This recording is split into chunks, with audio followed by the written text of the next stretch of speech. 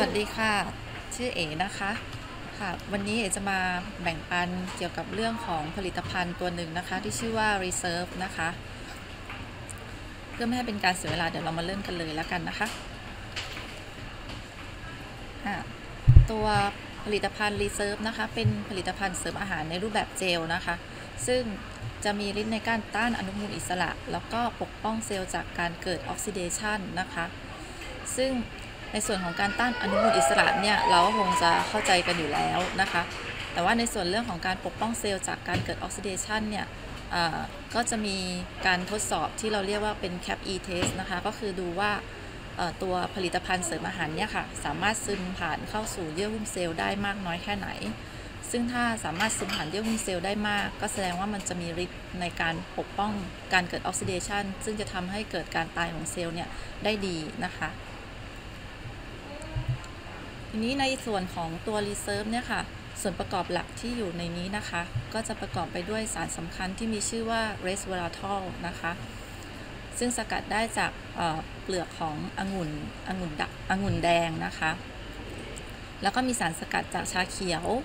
มีน้ำเชอร์รี่เข้มข้น ว่านหางจระเข้นะคะ สารสกัดจากเมล็ดองุ่น สารสกัดจากทับทิมอาคาอิ แล้วก็บูเบอร์รี่นะคะ ทีนี้ในส่วนของตัวสารหลักเองที่ชื่อว่า resveratrol เนี่ยค่ะ มันเป็นตัวที่เป็นตัวหลักที่ทำให้เกิดผลลัพธ์ที่ดีในส่วนในตัวผลิตภัณฑ์ reserve นะคะ ซึ่งตัว resveratrol เนี่ยค่ะ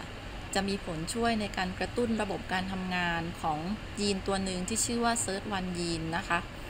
ซึ่งตัวนี้เนี่ยค่ะ ถ้าเป็น เป็นภาษาไทยเนี่ยก็คือเขาจะให้ชื่อเล่น ๆ ของมันนะคะ ว่าเป็นยีนแห่งความอยู่รอดนะคะ ตัวนี้ในส่วนของยีนแห่งความอยู่รอดเนี่ยค่ะ มันจะมี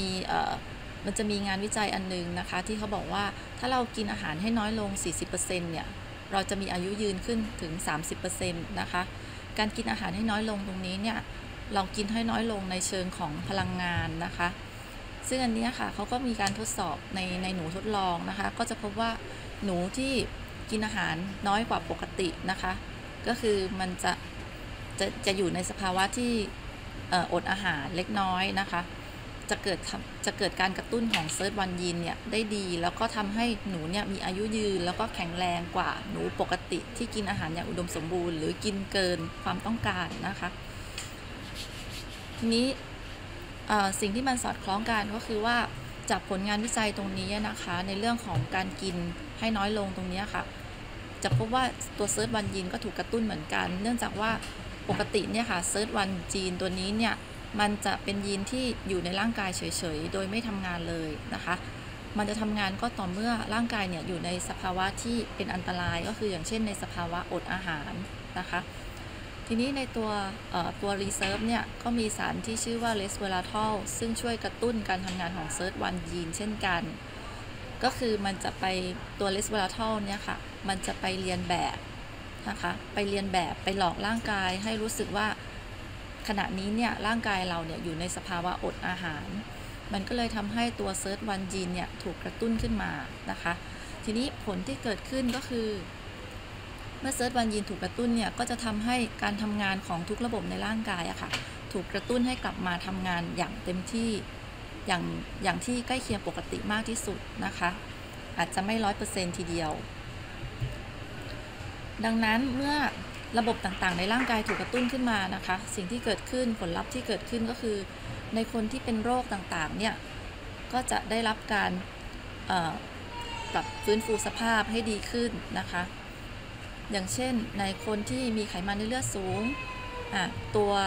สารสำคัญตัว resveratrol ใน Reserve เนี่ยค่ะ ก็จะช่วยลดระดับคอเลสเตอรอลนะคะ แล้วก็ยังช่วยในเรื่องของการควบคุมระดับน้ำตาล ในผู้ป่วยเบาหวาน ลดความเสี่ยงในเรื่องของการเกิดมะเร็งชนิดต่างๆ ได้ด้วยนะคะ